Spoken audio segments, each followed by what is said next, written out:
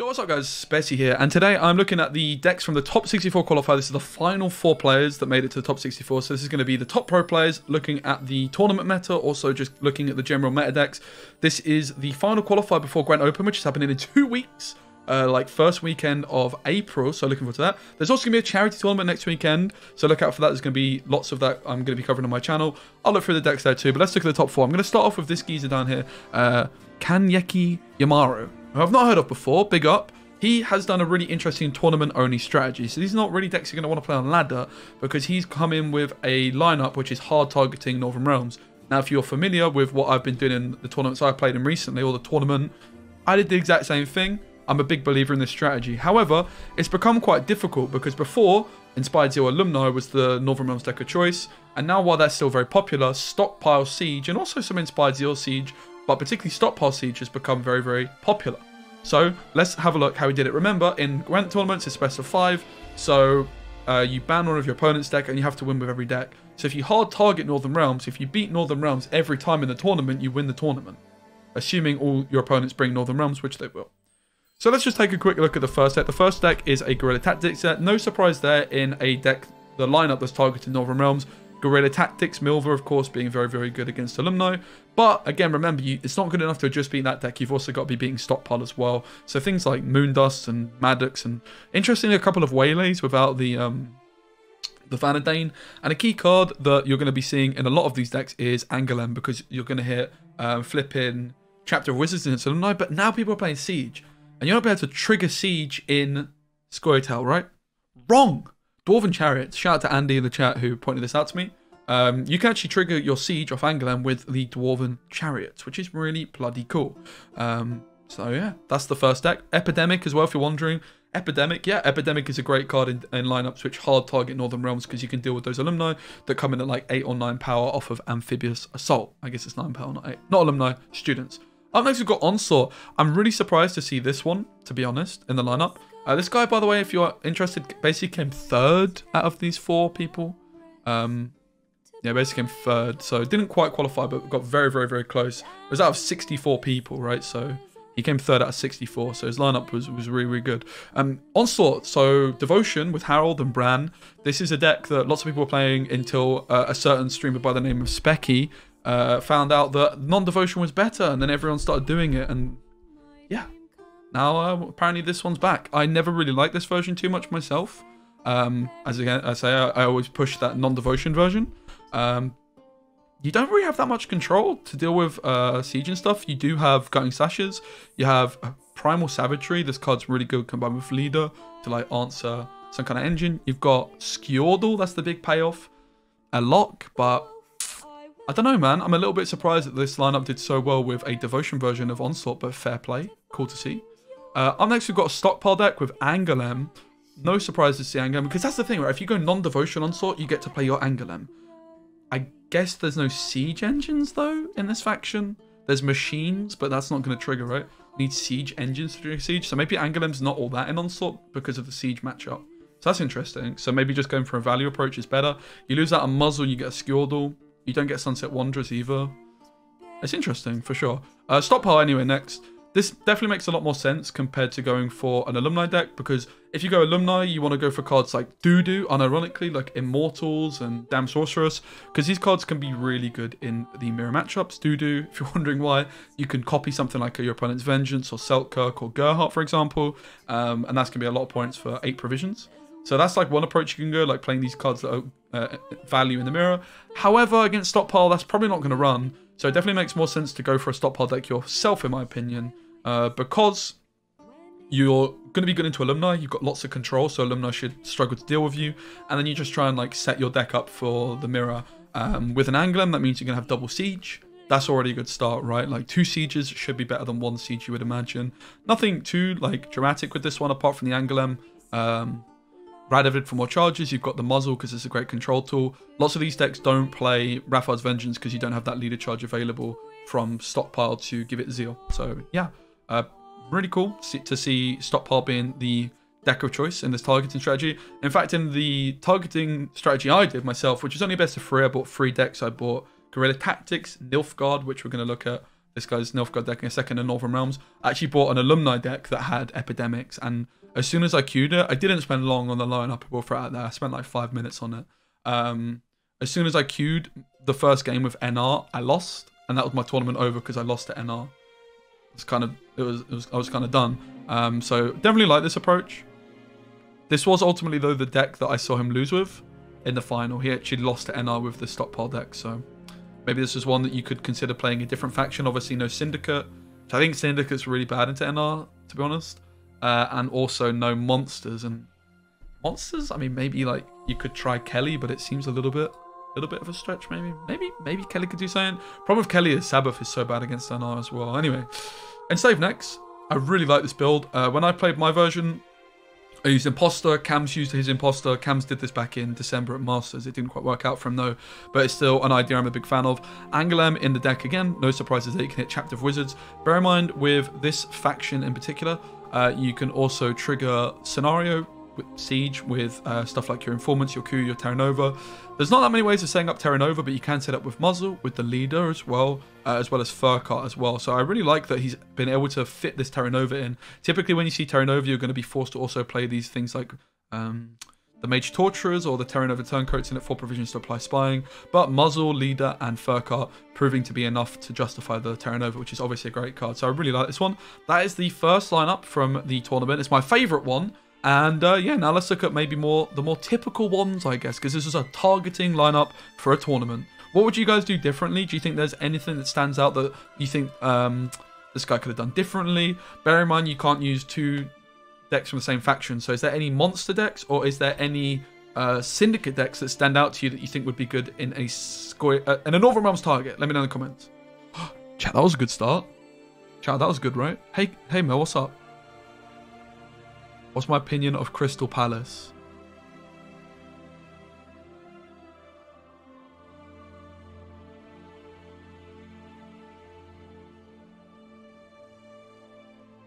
So what the fuck did you just say, dude? Crystal Palace? Uh, what is that?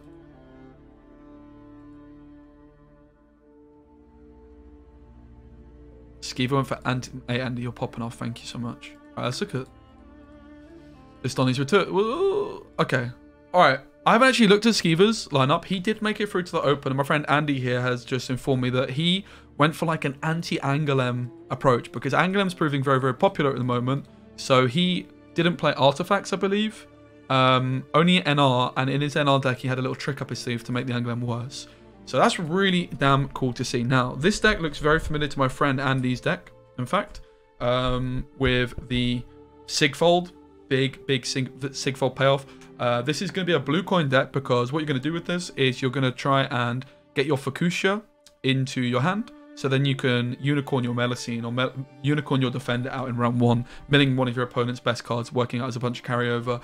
And that's where Fisher King comes in. You guys know I'm a big fan of Kishafing. I'm a big fan of the Kishafing in Skellige the Scar package in particular.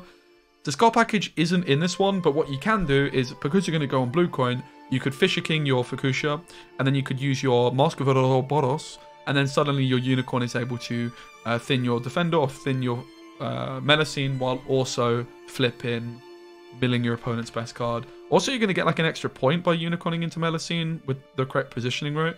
Um, so it's a really, really cool approach. I, I do, I'm, I believe I'm not mistaken in saying this is Andy that popularized this kind of approach. Um, obviously, the whole uh, Sigvald thing is something that, you know, I uh, have enjoyed doing a lot of and it's kind of a pioneer in this area.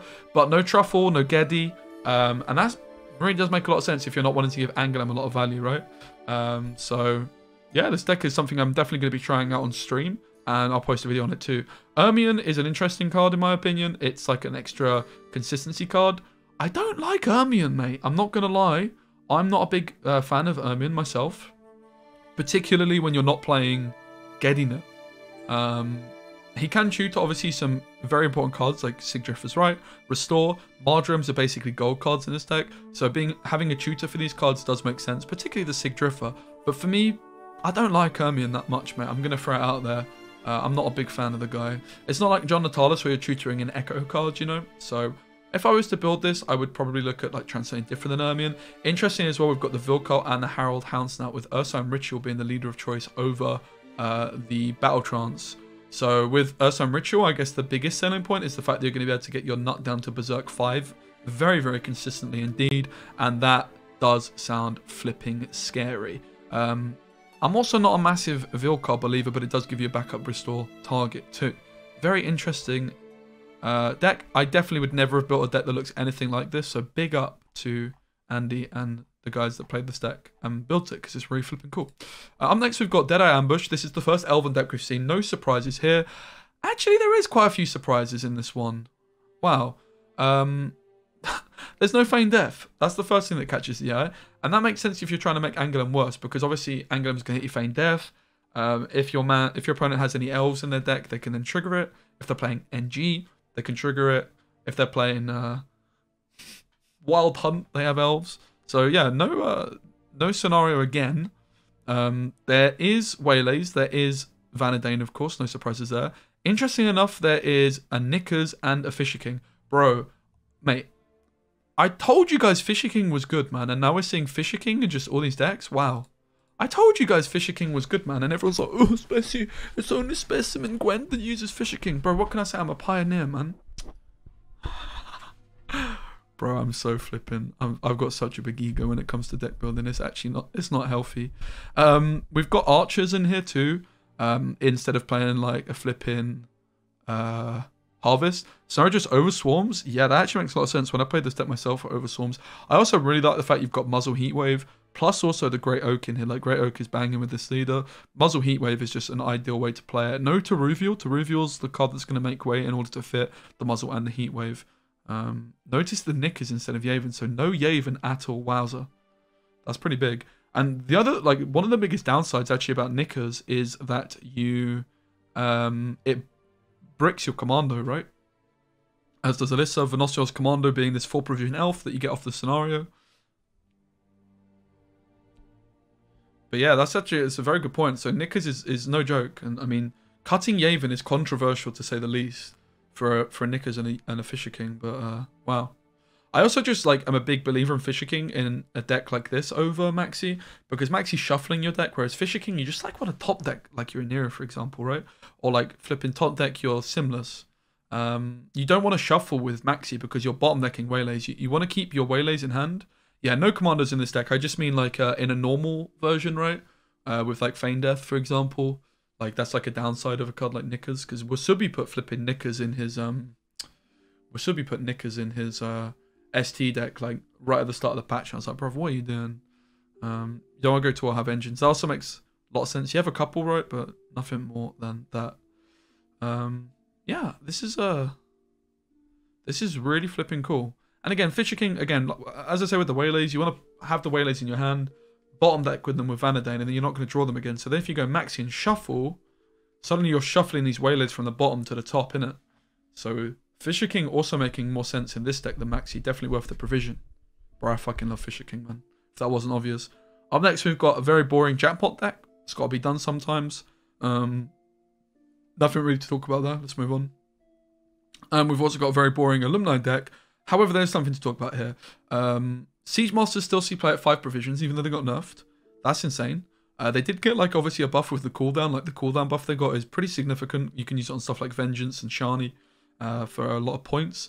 Uh, a couple of Siege Towers to help get these Siege Masters out. The inclusion of Necromancy is one I really like. This is a card that I've been singing the praises of in Northern Realms for a very long time. In fact, when my teammates uh, were prepping for Masters, uh, Spybee, and Payable, I did suggest Necromancy in alumni decks as a card that's really good because if someone's trying to target you, it comes in particularly clutch. And maybe this is why Skiva managed to just get his NR deck through. This card is going to be so good in, in a deck that's uh, against the deck that's trying to target you. The reason is, is you can resurrect one of your Banned students or your Aretuza students, um, essentially giving you a fifth student, kind of. But more significantly, it's also guaranteed to improve the carryover from your students because let's say you've got a Banned student on two patients as the most in your graveyard, you necromancy that geezer out, suddenly you've got patients free, you know? So that's uh, pretty damn cool. Uh, the other thing that's worth noticing in this deck is this random Megascope. Um, it's the only deck that he has in his lineup with a scenario or an artifact, and that is going to be Chapter of Wizards. So by including the Megascope, 50% of the time, Angoulême is now going to be hitting a Megascope instead of a Chapter of Wizards. That's going to make things significantly more likely for you to be able to get your NR deck through. Again, I didn't watch the final game, but I do know he did manage to get this through um, against uh, the stockpile deck we looked at before. Maybe this Necromancy, maybe this Megascope, which is the, the difference that was needed in that matchup. All right, let's move on and look at the other two lineups. Is this a good video? I think it's pretty good. I'd watch it.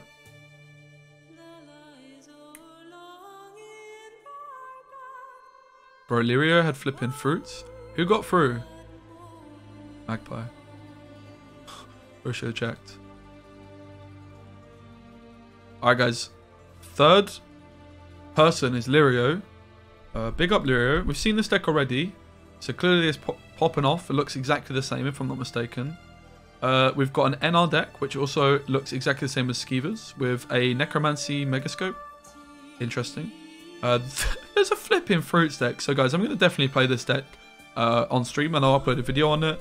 It's a Relics fruit deck. I've got it in Polish at the moment, if you uh, don't mind. Mamuna here. so, a couple of Megascopes. There's not many fours, as there often is often the case in Relic decks. There's often so many fives you want to play. Squirrel, Double Lesser Witch, Megascopes. Uh, Megascope's obviously really nice on Griffins, even on Self Eaters. Uh, got a couple Gankians, couple Incubus, couple Griffins. Um, these are cards I try and personally avoid, but in Fruits it makes a lot of sense. Uh, mate, there's a couple of there's an offering as well. Now this is a card I'm a big flipping fan of, mate. In Fruits, in particular, because you can just use it on your own fruit. Uh, damn, very cool, mate. You can also use it offensively if you're able to sign it up. Uh, line it up, that's unlikely. You've got Doragrave for a little bit of lock control. No defender in here, so you're not overloading Purify, so I'm a little bit surprised to see the Doragrave. Uh, there's Operator. Operator is going to be used predominantly on Self Eaters, and you can Incubus your Self Eaters out uh, because your opponent's going to have then a 6 provision card in their graveyard. Uh, Operator, I guess, could also... It's also not that bad on Lesser Witch because it gives you the Bonded. But yeah, predominantly it's going to be on, on Self Eater. That's also where Curse Scroll is going to come in. You're going to try and use Curse Scroll to set up in round one. There's also uh, no no Royal Decree. Flipping hell. no Royal Decree. My god. Uh, there's a Rat Ratcatcheress. There's a Giant Toad. A Unicorn, which is going to mill your She Who Knows uh, while milling your opponent's best card. Uh, it's got a Mushy Truffle into the uh, Ratcatcheress Lady Thingamajiggers Lesser Witches. Mamuna, Gurney as well. Uh, very, very cool. I'm going to play this deck myself. Finally, last but certainly not least, we've got a Saskia Deadeye Ambush deck. Okay, this is something that I have seen before. I've never actually seen a play it, but a friend of mine named Gravesh also had this deck built um, last week for the top 16 as an idea, but uh, ended up not going for it. He wasn't playing in it, but like he was helping uh, Spyro, for example, go for it. Yeah, Quacks is the tutor in it, right? Quacks is a tutor. I mean, it makes sense. It makes sense. You need points, man. Like it's a it's a archetype that struggles, right? So just draw your cards, and you have Curse Scroll. Uh, does he play it going first? Does anybody know? You can come that out. But anyway, uh, it's, it's a Saskia instead of Feign Death. Now we talked about Feign Death already. Andy mentioned it. It does help. It does overswarm a bit. Uh, you're also giving Heatwave value, which otherwise Heatwave is really struggling against this deck. It's going to pay for like five points or so. I guess six points on Vanadain, six points plus on Vanadain. Um, so including Saskia is really interesting. Going for the movement package with the elves, the witches, and the matrons. Also interesting to point out, this is like kind of reminiscent of Freddy Babe's Masters deck from Masters 1, which uh, I did help build, just in case anyone's wondering. just to throw it out there. I don't take too much credit for that one though. That was a Freddy Babes and Green Knight idea. I just helped refine it a wee bit. Um, yeah, looks really cool. Toruviel does make the cut here. Uh, there's no muzzle in this one then. So basically, uh, being replaced by Saskia. Um, Taruviel versus Muzzle is like the usual like big decision. There's a Yaevinn instead of the Knickers and Fisher King. There's a Rebuke as well to just fill this provision. I would imagine if there was like one more provision, you maybe play Muzzle instead of Toruviel and then just downgrade this uh this card. But it's very difficult to cut Yaevinn, to be fair. So I really like this this deck actually. It's another one that I will try out. And finally, last but not least, we've got Magpie. Magpie always brings some spice. Here's leader abilities. Don't look that spicy though. I'm going to throw it out. The leader abilities ain't looking too spicy here. Uh, first and foremost, we've got Off the Books. Off the Books, this is another deck I do need to try. It's using a lot of the 4 provision Firesworn cards which got buffed, like this guy. He's now fee 1. Uh, we've got also this guy who's like an 8 point card. Uh, furthermore, the this guy, not very good with their names apparently. He's pretty good now. He's a tribute card. Uh, also, you can spend uh, one coin to give turn a zealot into a the free power guy one armor, which also gives you an extra point on this geezer. Bro, the names are not popping off. Uh, this is where I actually need to change to English, but I'm too stubborn, man. You've also got Ewald and Horst. Uh, Geller is also great in this deck because you do get quite a lot of Swarm with your Firesworn geezers. Uh, there's a Tin Boy too, which is really cool to see. Uh, Tin Boy, of course, also being a tribute card, um, which can contribute towards your King of Beggars. Uh, up next, this is obviously the Tin Boy is going to be good into Elves as well. Uh, up next, there's a double cross deck with an Angoulême. There's a Diviner instead of Pella, uh, which I like. Basically, you could play a Pella, um, and then instead of this, and then upgrade one of these fours, like to a five tactic, for example. Like you could change a Major Infiltrator to a second uh, novice. But yeah, going for the, the Diviner I, I think is worth in this case because you just have like one provision. There's not really much else you want to do with it. Uh, Angoulême is the card of choice. Very important to note, you're going for Angoulême while including a bonded card. And also you, you've got Angoulême with no Truffle yourself. If you're playing Angoulême and a Truffle in the same deck, shh, it's going to go a little bit pear-shaped. Because against Nilfgaard, they're going to coup your Angoulême. That's not what you want to happen. Uh, we've also got a Elf deck with a Feign Death. This is a way more typical version uh, with Toruviel instead of Muzzle, with a Maxi. There's Rebuke plus Archers uh, instead of Harvest. I think Harvests are a better way to go than Archers, unless you're going to ban Nilfgaard. Like, these Archers are so bad against Nilfgaard. Um, also interesting to see double Neophyte. It's not a card you see every day. And finally, last but certainly not least, we have got a Stockpile Siege deck uh, with the muzzle, with the Heatwave and Radovid up at the top. A War Chariot, Foltest's Pride, couple of Boiling Oars, which I love to see, a couple of Bombardments, which I love to see, and a couple of Winches. If I was going to play a Siege deck, I would make a real effort to play two Oils, two Winches, two Bombardments, because the Warfare cards just pop off with so many cooldown uh, uh, resupply cards. Alright, that is the decks and the lineups from the top four. Here was how the bracket looked out. Uh, Magpie coming out in the winners bracket and Skiva coming out in the losers bracket. So GT to all these guys, obviously they made it super far. Um, yeah, I hope you guys enjoyed this little breakdown of the tournament top four meta. Lots of very surprising and interesting decks, so big up to all these guys bringing unique decks. Uh, really, really cool to see. Looking forward to Gwent Open in a couple weeks. And uh, yeah, hope you enjoyed the video. If you liked it, let me know, and see you on the next one.